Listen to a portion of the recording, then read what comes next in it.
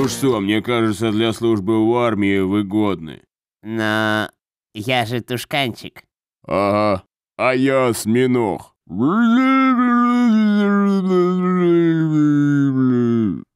Это вы сейчас осьминога показали?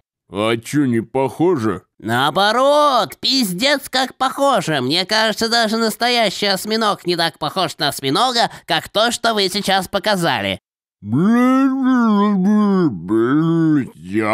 Осьминог. Потрясающе! Именно фразы «я осьминог» не хватало, чтобы эта пародия стала идеальной. Ладно, подхалим, даю тебе отсрочку на полгода, но только потому, что я добрый осьминог. Следующий.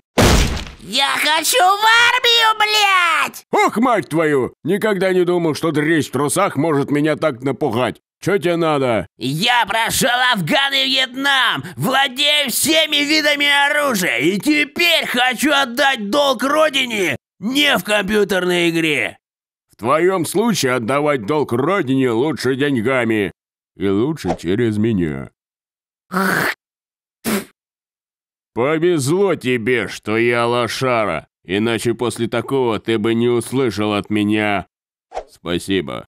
Я хочу стать самым крутым солдатом в самых крутых войсках! Отправьте меня туда прямо сейчас! Как скажешь, но прежде чем я тебя туда отправлю, я хочу, чтобы ты знал. У тебя изо рта воняет дерьмом. Фамилия рядовой. Сергей Шойгу? Это что получается, ты мой двойной тезка, что ли? Нет, но как и у вас отчество у меня тоже дебильное. Иванов Андрей Гнилохуевич, ваше расположение прибыл!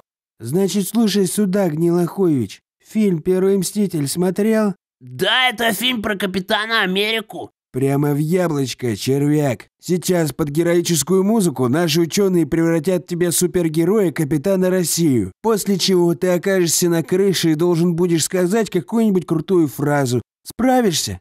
Ну, я попробую.